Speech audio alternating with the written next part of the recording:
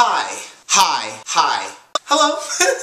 What's up, guys? I'm a person. I'm a breathing person. I'm a living person. I am an actual person. I am an entity. I am a person. I'm a person.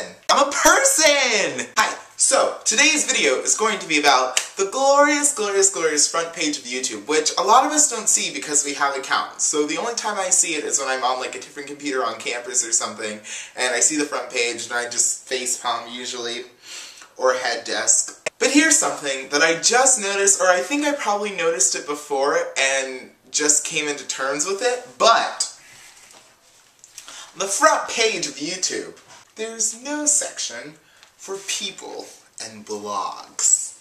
There's entertainment, music, news and politics, film and animation, sports, how-to and style, comedy, travel and events, top favorited, and top viewed. YouTube, I am a person.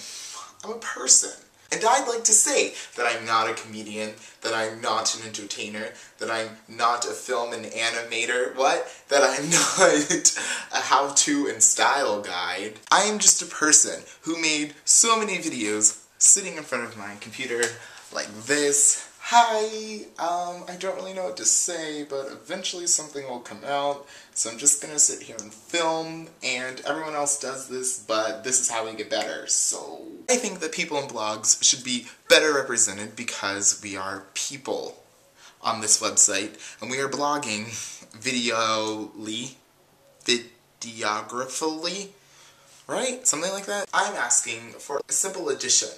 I think that people in blogs should be pushed up because because there are some great videos that aren't just about people and blogs in people and blogs, which makes no sense. Charlie Sokulike is in people and blogs, and he sometimes does songs, and sometimes just sketches. And if we're going to call YouTube a site of broadcasting yourself, why would people and blogs be missing from the front page? I feel like it used to be there, but apparently it's not there anymore. Or maybe it was never there and I was just too naive to notice. I want this more than I want the homepage to change because I'm an advocate for the people and blogs, the working vloggers. R Ryan's word of the day.